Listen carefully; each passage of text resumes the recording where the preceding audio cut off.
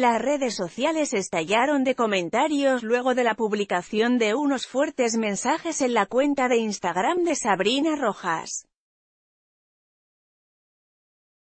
Allí, la actriz denunciaba, sin dar nombres, haber sido víctima de violencia de género.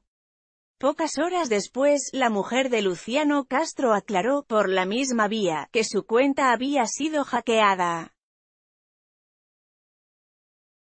El miércoles, Ángel de Brito se refirió al tema en Los Ángeles de la Mañana.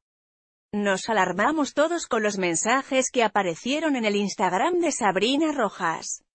Acusaba a alguien de violento, drogadicto y usó la frase mira cómo me pongo. Comienza como una supuesta denuncia sin aclarar contra quién, comentó el conductor.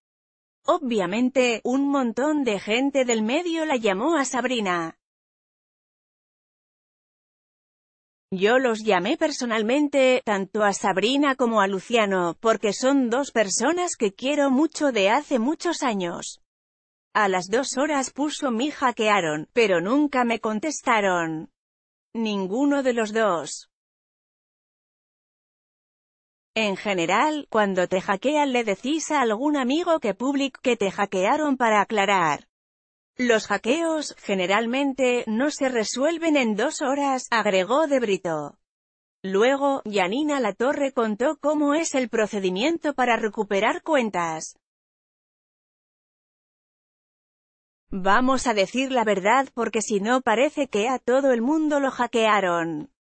Jorge Rial hacía lo mismo cuando criticaba a la niña Loli y decía que lo habían hackeado. Cuando te hackean, son horas o días hasta que la recuperas. Te la suspenden, tenés que mandar tu pasaporte, fotos, te piden cinco posteos que hayas hecho, tenés que nombrar amigos, detalló la panelista.